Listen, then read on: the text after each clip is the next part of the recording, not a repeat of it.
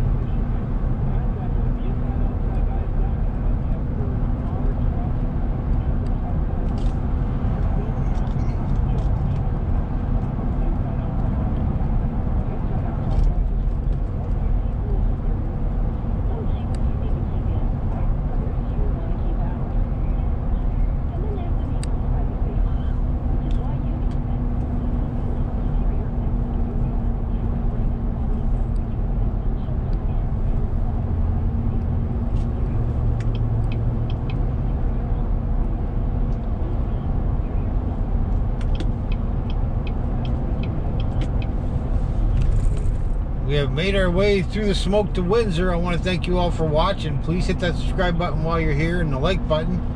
It really helps out in the YouTube algorithm. And again, we'll see you all in the next one. Later.